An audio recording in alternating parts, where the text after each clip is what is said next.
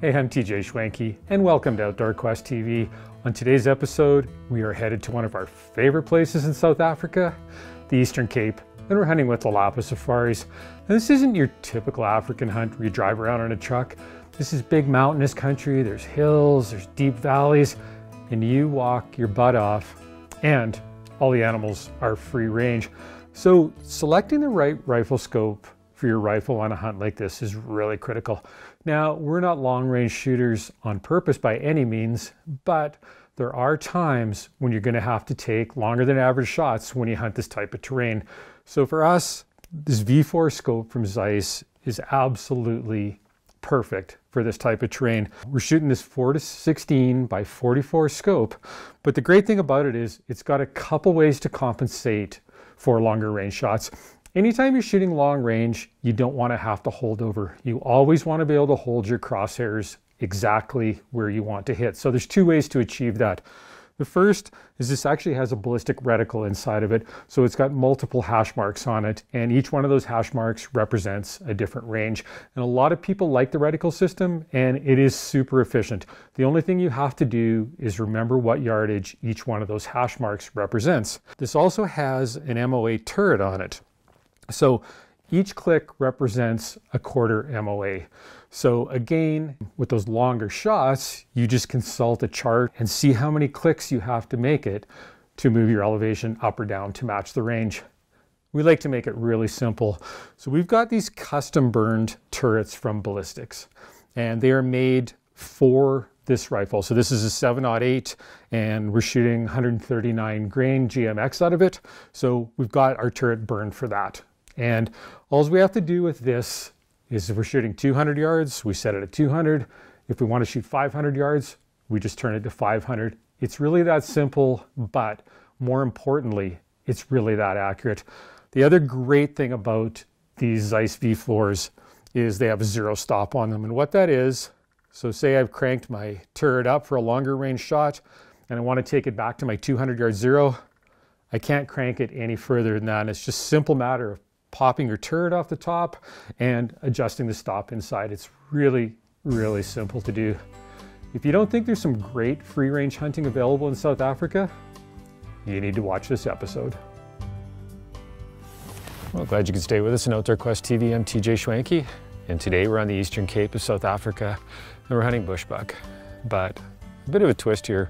We're doing a 100% free range hunt down here. And you know, there's lots of people talk free range, but this is true free range. We've got access to hundreds of thousands of hectares down here, um, just all sheep and cattle ranches, just like you'd hunt back home in Canada. These are all native animals. They've been here, you know, for millennia kind of thing. So pretty unique hunt. It's something I don't think a lot of people realize still exists in South Africa you know, this isn't wild Africa by any means. It's very civilized Africa. This has been farm and ranch country for, for hundreds of years and it hasn't changed. But bushbuck are probably one of the most elusive of the animals here. And it's had a cold morning here. We had actually frost this morning.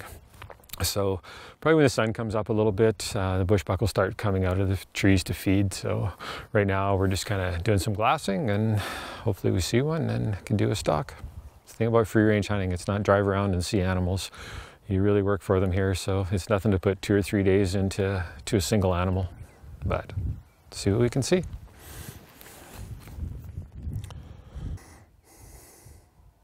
Are your legs cold? No, I refuse to wear pants in Africa. I don't care how cold it is. a little bit of chicken skin on them this morning, but uh, it'll warm up. Great thing about here, it always warms up fast. Although today's only supposed to get to 13 or 14, but still warm enough for shorts. So we're, um, it's kind of, the sun's starting to come up a little bit, so we're just gonna kind of go for a walk around here. Ray's got a, a favorite spot down there that he says he usually sees some bushbuck at, so maybe we'll get lucky and see one. What do you think, Ray? I'm hoping for the very best. Because like we said, they're very secretive, these little guys, and uh, when one pops out to feed, you need to get onto him as quickly as possible because he can just as quick, quick as you see him, as quick as he can disappear yeah, again. I love this little ravine over here. Yeah. And then they come out of that bush line over there and they come out to feed. They're just they're just looking for sun early in the morning. Yeah. It's really chilly this morning. It so is. okay. Let's go and see. Pandemic grips the world. People are being told to stay home. International borders remain closed. 2020 was our toughest season ever.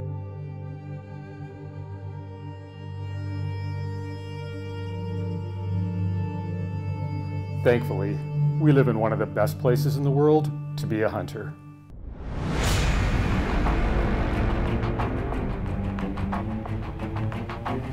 South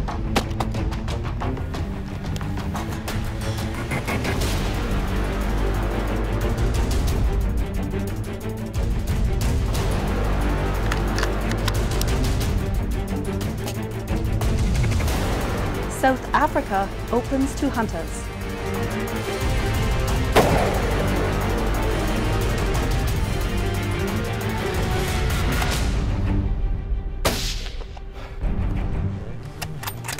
For us, the hunt is about the journey. Even if that journey is right in our backyard. Join us for season 22 of Outdoor Quest TV. Outdoor Quest TV is brought to you by Hornady, accurate, deadly, dependable. Sako and Tikka Firearms, demand perfection. Zeiss, we make it visible. Lowa Boots, simply more. Silver Willow Taxidermy, see the difference. Closed captioning provided by Deluxe Wall Tents, made in Canada for Canadian conditions.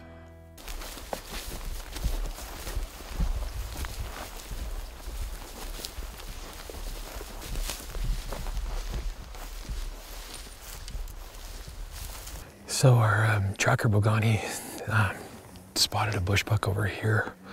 Said it was a pretty good looking ram, so it uh, it's just kind of wandered back in the trees. But our hope is he comes back out and we can make a play on him. They're um, really secretive. They rarely ever actually come out in the open. What they like to do is just kind of work those fringes, catch a little bit of the sun, but actually catch one right out in the open is pretty rare. So. They'll be up for a while yet, though. They're not gonna. They typically won't bed down until 11 o'clock or so.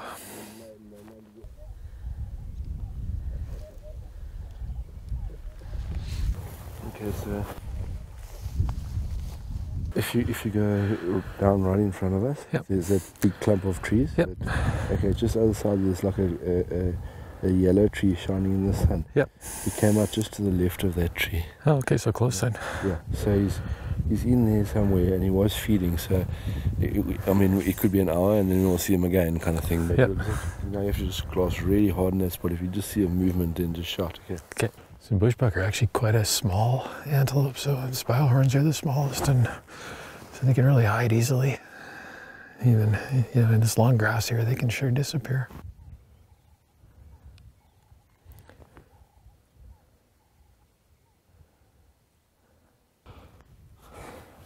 So one thing um, about hunting here, especially a lot of places in Africa, you can get away with you know eight power binoculars, eight by thirties, things like that. But here, um, I'm using my 10 by 42 Victory RFs, and I really like the 10 powers here. We're looking for a tiny animal and some heavy, heavy cover there, and having a little bigger objective. Um, you know, allows me to glass later in the evening. A lot of these animals are just morning and evening. We're not hunting out in the big, you know, plains or the savannas here in Africa. We're hunting in some thick cover, looking for small, small animals. So it, I like the extra magnification. It's a little more weight to bring, but uh, I also like to have the rangefinder on here. I don't know, I find judging distances so challenging here. So most of your PHs will have a rangefinder with them, but I just like to have my own. And I don't know, the 10 power binoculars are definitely the way to go for hunting down here. Just figure we'll leave him be for a bit then, Ray. Yeah, I think so. You know, he's in that thick stuff. I mean, he's obviously in there somewhere, Yeah. grazing, or he's, you know, he's, I don't think he's lying down there. No. Unless he comes out in the open, we're not going to see him. We're not going to see him in there, no. So let's just leave him for, Okay. leave him be. We know he's here and he knows the shooter. Mhm. Um, we'll come back here a little later and maybe eat our lunch here sitting on this bank. Okay. And just, and, and maybe, uh, you know, a bit later he'll come out, feed again. Hopefully. Yeah. There's like dead in the hand, yeah. but uh, yeah, if we're not seeing him now, you know, we, we'll let everything go and maybe never see him again. Yeah. I'd rather just move around a bit and see what, if we can see something else. Sounds good. And if we can't, we'll come back here. We know th- that animal's not going to move out of this area. Right. Yeah, he's resident here. That we'll, we'll hopefully pick him up again. Okay. Sounds good.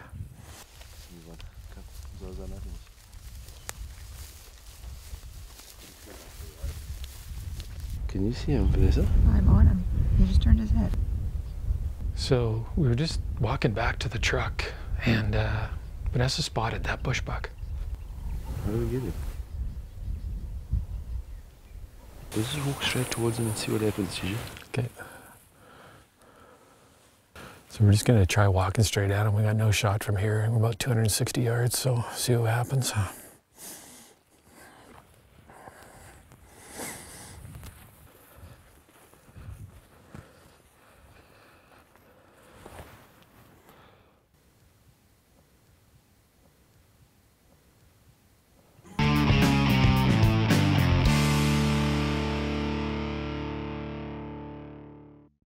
Outdoor Quest TV is brought to you by Defense Aerosols, bear spray for when your life depends on it. Safari Club International Canada, first for hunters. Alberta Outdoorsman Magazine. Midland Radios, communication for every adventure.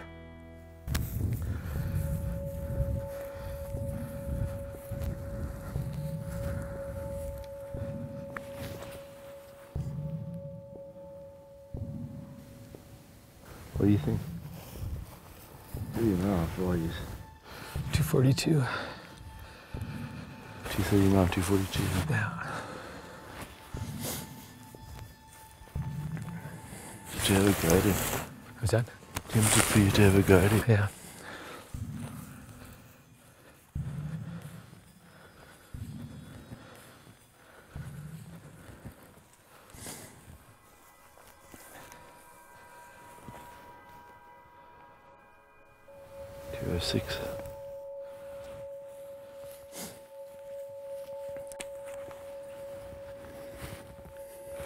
See what you can see.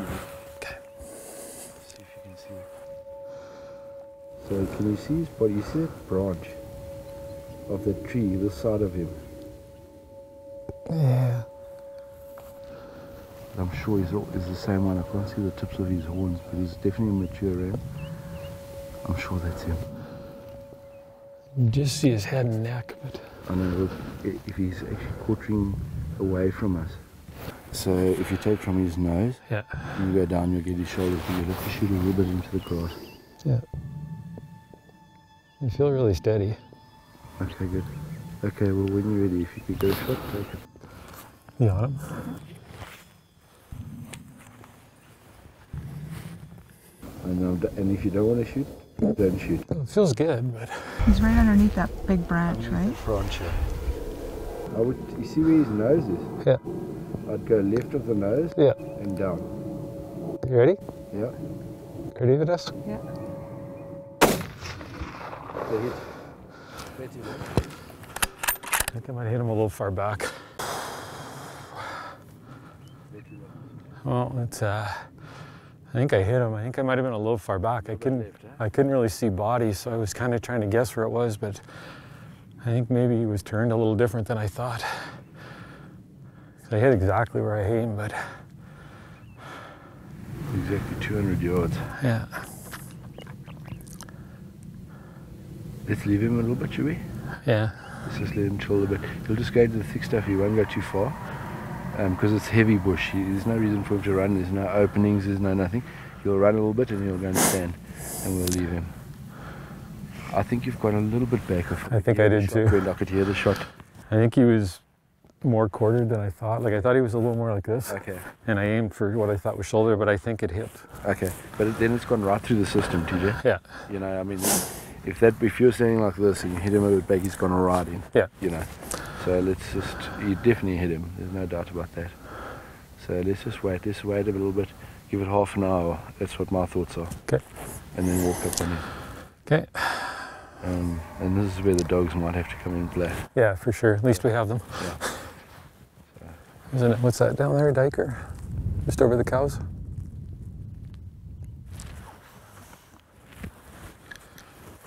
a young bushbuck. Oh, is it? Mm. Young bushbuck now. I think that's the only shot we had. Yeah, for sure. So there was no other shot. These little buggers are the most dangerous plains game that I know. No They- kidding. Yeah, they're very quick, and they will they will charge you if if um, if you get too close and they're wounded. Okay. So we don't want to take any chances. Yeah. Um, I've had a friend that was stabbed between his legs on a Yikes. charge and had to end up in hospital, cut his head off, and, and uh, ended up in hospital and pulled it out because he was bleeding out. So Wow. yeah, so it's not something we want to take a risk on. Okay. It's also very dangerous for the dogs. Yeah, for sure. Um, it's so- quicker than a dog because they're in the thick bush. Dog doesn't have place to move, and he can move quicker in the bush than a dog can. So we'll go look So the last- first. Yeah, the last resort is the dog. Okay. Um, we'll go down there, take a look. Yeah. Um, and just be very careful. Okay. Um, and if it happens to be alive, and Shoot it quick. into fun, then we'll only put the dog onto it. The dog will find it. Yeah. Okay. But if we see it, shoot it quickly. Yeah, as quickly as you can. Yeah. Okay. Put your scope right down. Yeah. And as soon as you see it, Okay. you know, if it's still alive. Yeah. Hopefully it's dead. Hopefully. yeah. You know, it was a tough shot, so we'll just see what happens. Uh, the shot wasn't that bad. It's just I just it was hard to judge the way his body was, and I mean I felt rock solid, and I hit exactly where I was aiming. But as soon as he moved, I just his body was different than I. It was more at an angle than you thought. Yeah. But like I said, I think that thing gone right through your system. Hopefully. So if it, if even if it went a little bit back, it's going to go right through. Mhm. So it should be some serious damage. Yeah.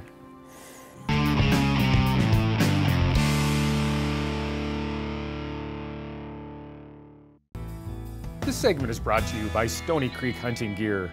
It's in the blood.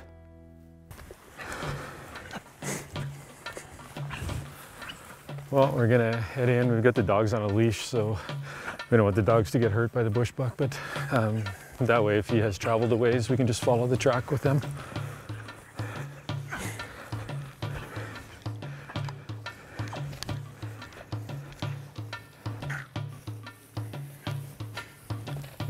Don't think they walk on a leash often.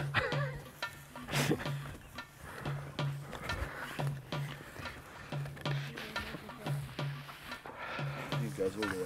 Oh, does it? Okay. There's another post right there. Just gotta cross the cattle fence here.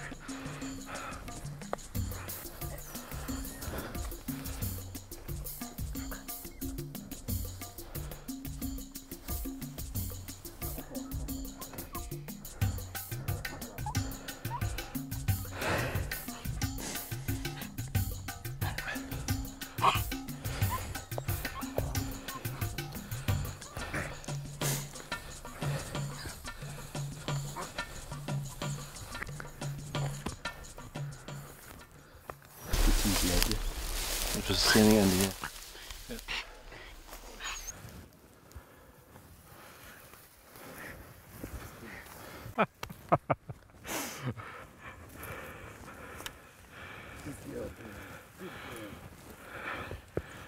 Well, all my fears were for naught. He went maybe 20 or 30 yards, so I guess I hit him better than I thought, but uh, pretty happy to find him dead in here. Let's go take a look.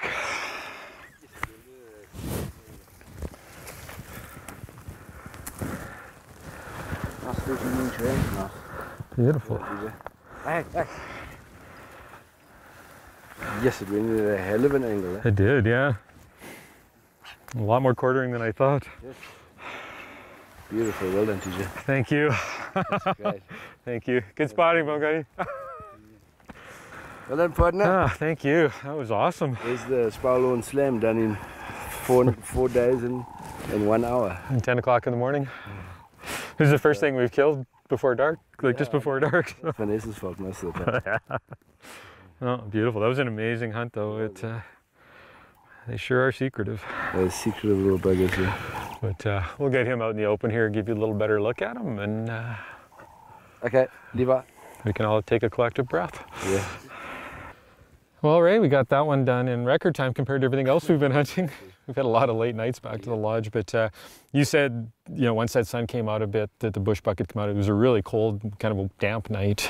It was morning. Yeah, or sorry, yeah, and then this morning it got nice and warm, and they came. He came out, and But you know, this is one. You said these animals are just loved by the farmers and ranchers around They here. they, they are iconic animal. I mean, when hunting season comes, they live for that. They, they hunt them with dogs. Um, it's all legal. Yeah. And uh, it's been a sport that have been, you know, since we, since we were settled. Now you said on these open free range areas, there's actually a season for them. There is 1st of June till the 31st of July. So they're they're quite protected Yeah, then. they're protected and very loved by the local people, and people don't like to share their bushbuck with anyone. so you're pretty lucky to have some of these cattle ranches to hunt on. Correct. Yeah, so you know what? I, I think we hear a lot of talk about free range hunting these days, and free range doesn't always mean free range. And what you've got here, it's uh, it so reminds me of hunting at home. It's exactly what we do too. You go get permission from a landowner that runs cattle and sheep, and he allows you to hunt. Yeah, you gather your areas and you look for good areas and um, take your hunters into those places. Yeah. Try and get the best you can. Yeah, no, it's a truly amazing experience to do this free range like this. And um, brought the 7 odd 8 in this, the Carbon Light Sako. And for me, this is just a perfect rifle for, especially in this, you're, you're in heavy cover a lot, you're walking a lot, so it's nice and lightweight, it's short, you know, and anything from Nyala down kind of thing, it's, uh, you know, an ideal caliber as well. So, Fantastic caliber. yeah, really happy with that. But I think our cameraman may have bushbuck on her list too. So, yeah. so we'll get this wrapped up and we'll see what Vanessa can find. For more information on free range hunting on the Eastern Cape of South Africa with Lalapa Safaris, check them out online at lalapasafaris.co.za. Outdoor Quest TV is also brought to you by these fine sponsors.